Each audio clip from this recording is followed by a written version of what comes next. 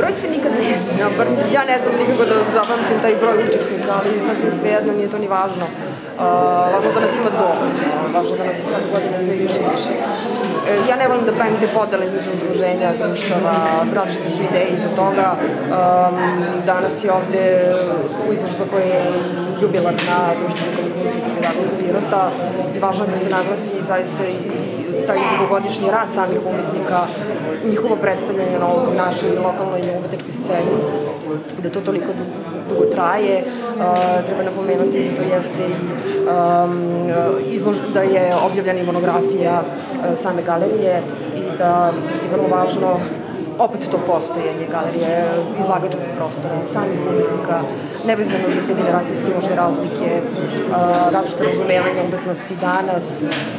To se sve vidi ovde, ovde na, na samoj izložbi.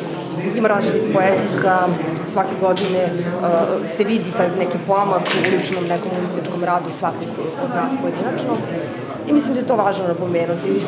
Svi smo zajedno ovde, sva udruženja, pa i da su dva i ne znam koliko, ali je važno da postoje te jubilarne izložbe, da se vidi to trajanje um, i nadam se da će još mnogo godina postojati, da će nas biti još više, još više udruženja različitih sa različitim jel, nekim idejama, stavovima, ali je važno da se to prenosi, da se prenosi neko znanje, da se prenosi to stvaralaštvo i ta potreba za stvaralaštvo i dalje postoje.